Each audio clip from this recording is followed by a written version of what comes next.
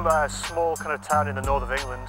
There's no graffiti scene there whatsoever. I came to London around six or seven years ago. I was put into this world of just colour and characters and just amazing pieces of art. I was really inspired by a lot of the people who were doing work around London.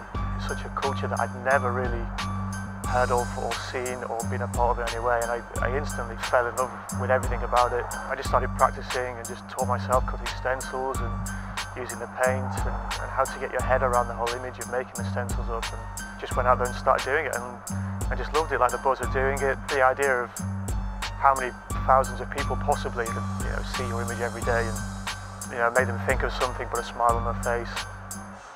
What a focused on with Big Tobacco, keeping so much control over millions of people just by feeding them an addiction. And it's affected my family. As a kid, it was never really an issue, you know, smoking in the house was kind of commonplace. My granddad, he passed away with cancer. You know, he's, he smoked a lot, you know, since he was young. My mum still smokes and she smoked since she was 15 and we're trying to get her to stop for years, but she won't. Yeah, it's quite sad really.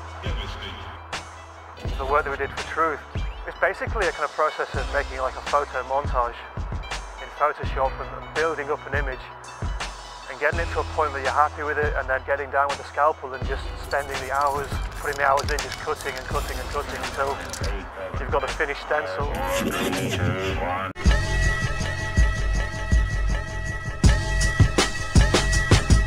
The biggest is around seven and a half, eight feet square. So that's the plant image. So hopefully that's gonna look awesome. You know, it's gonna be nice to see a, a kind of a large mutated snarling plant you know, on the wall in New York, so I'm really looking forward to getting that up. It's kind of nice to design a piece specifically for a certain spot, interacting a lot more with the city, collaborating with the city. Big tobacco companies can legally, openly sell a product that kills around 1,200 Americans every day.